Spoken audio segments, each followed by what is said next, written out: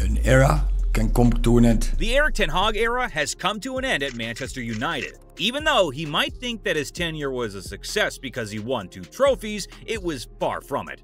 So, how bad was Erik Ten Hag at Manchester United? Stick with us as we uncover the records he broke and his major transfer gaffes. But before we start, for Manchester United fans who had to experience this. So I'm sorry for you. Like Drake said, bottom, and that's exactly where Manchester United were after losing their opening two games in Ten Hag's first competitive games as Man United manager. His era started off with a 2-1 loss to Brighton. That was the first time in the club's history United have lost at home against the Seagulls, and the first time in eight years that the team lost an opening game. In his next match versus Brentford, there was the opportunity to bounce back, but what happened was even more shocking than his first result. Goals from Josh Dasilva, Mathias Jensen, Ben Mee, and Bryan Mbeumo all scored in the first half, saw the Bees humiliate the Ten Hag-led team with a 4-0 victory over United. The loss was Manchester United's first league loss to Brentford since 1938, 86 years ago. Manchester United fans were expecting a possession-dominating style like Ajax, but what they were getting was something similar to relegation fodder. Ten Hag, however, would get his first win at United against bitter rivals Liverpool. This result sparked an upturn in form until it all came crashing down again.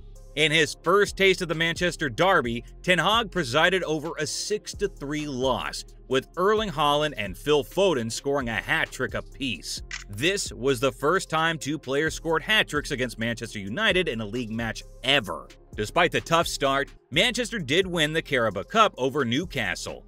But following the high of winning a trophy, United would come crashing down once again.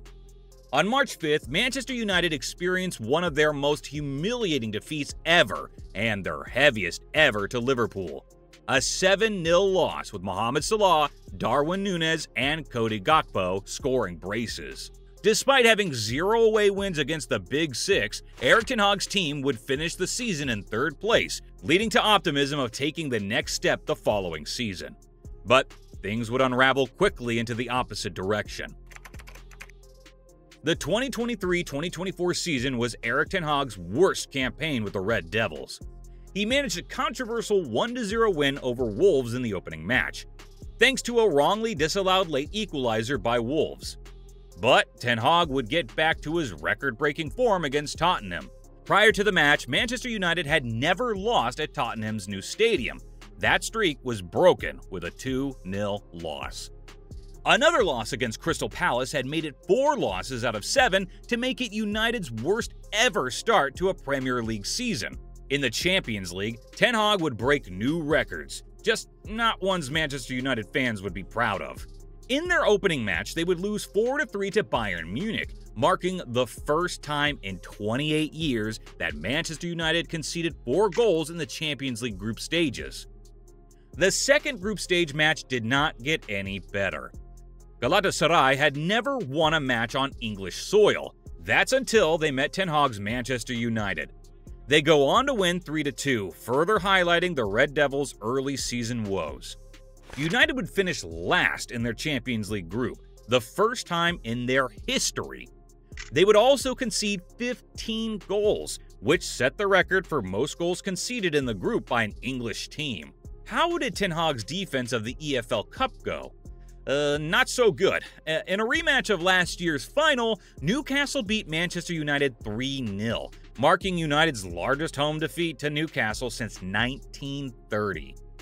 To add to the embarrassment, Newcastle manager Eddie Howe used the last bit of the match as a training session for some of his players. However, he was able to end the season with a trophy, seeing off Manchester City in the FA Cup final at Wembley to book a place in the Europa League. The domestic season was a bit of a disaster, though. Ten Hag's team finished 8th in the Premier League, their worst ever finish in the Premier League era. Defensively, the team was in shambles as well, conceding 58 league goals, a Premier League high. They also had the minus one goal difference, the first negative goal difference for United in the Premier League era. He also still hadn't recorded an away win against a Big Six side. United's new co-owner Sir Jim Ratcliffe and his Ineos team, unconvinced by the Dutchman's benchmarks, embarked on a lengthy review, consulted possible replacement options before offering him a new contract. Surviving sack on Anita Lynch, would Ten Hag be able to prove the doubters wrong? Erik Ten Hag opened the 2024-2025 Premier League with a slim victory over Fulham, but that would be his only win in the first three matches. Brighton beat the Red Devils again before a humiliating 3-0 drubbing at home by Liverpool. After the Liverpool loss, Ten Hag saved face with a 3-0 away victory against struggling Southampton before EFL Cup third round win over second division side Barnsley. The two wins over lowly rated sides marked the beginning of a winless five match run in all competitions which left the team on their worst start to a Premier League or European campaign for the second time in his third season. A 2 1 loss to West Ham marked the end of the Ten Hag era, as he was sacked the day following the match. Before we go to see his bad transfer decisions, I'm going to give you this stat. In Manchester United's 30 year Premier League history, they only conceded two 90th minute plus winners. Under Ten Hag, they conceded six, and he was only there for a bit more than two seasons.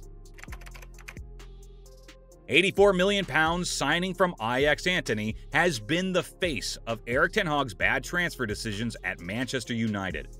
After a promising start to the campaign in 2022, the Brazilian winger has slipped into unplayable form. To make matters worse, Antony's Ajax teammate Mohamed Kudus, who also played under Ten Hag, was bought for half the price and has been one of the most dynamic wingers in the league. Mason Mount's 55 million pound transfer was another blunder that happened under Ten Hag's watch. Seemingly without a real position in the team and a horrid injury record, Mount's transfer looks worse day by day. As if be given the number 7 wasn't bad enough, Chelsea used that transfer coup to buy Cole Palmer, who's taken the Premier League by storm. An outgoing transfer that will be a regret for Ten Hag will be that of Alvaro Fernandez. The young left back's move to Benfica was sanctioned for 7.7 million pounds. What makes this transfer so bad is that Manchester United face an injury crisis for most of the 2023 2024 season and the start of the 2024 2025 season. Both starting and reserve left backs, Luke Shaw and Tyrell Malacia, have been injured, resulting in makeshift left backs like Diogo Dalot and Lisandro Martinez, both of whom are not natural left backs.